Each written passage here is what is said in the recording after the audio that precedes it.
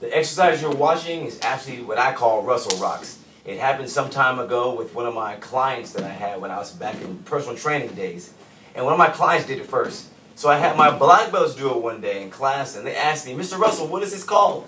And I said, um, it's called Russell Rocks. And it stuck. This is a plyometric type of exercise designed to explode the chest, your shoulders, and of course, it's going to get your heart rate up for obvious reasons.